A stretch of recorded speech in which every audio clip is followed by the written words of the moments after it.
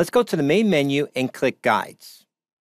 Now for this video, it's going to be a little bit different. We're going to go ahead and click all these triangles to minimize everything in the section. Now what I want to focus on today is Bible reference guides. Let's click and expand that section. Now here's the key to understanding this.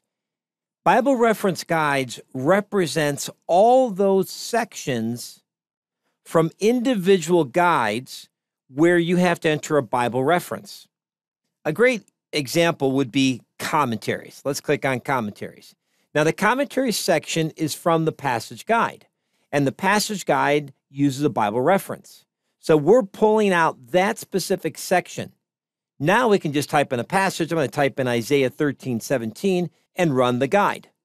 The neat thing about this is I don't have to open up my whole passage guide, scroll down to the commentary section, click and expand it.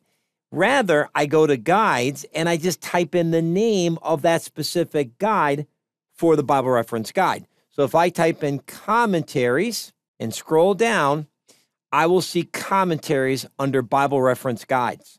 This is a significant feature, and I want you to understand this. So, your favorite sections in any guide can be pulled up directly by typing in the name of that section from the guide.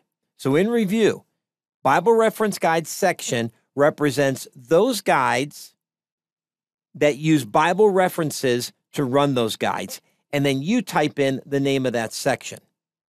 Let's go ahead and click on Guides to close the menu and click on the X to close the tab.